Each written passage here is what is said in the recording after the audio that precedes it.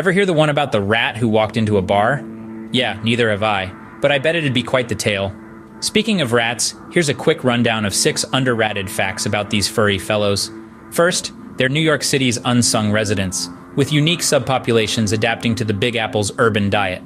Pizza rat, anyone? Second, in Central Africa, rats are the unsung heroes, trained to clear over 13,200 landmines. Talk about a brave whisker twitcher.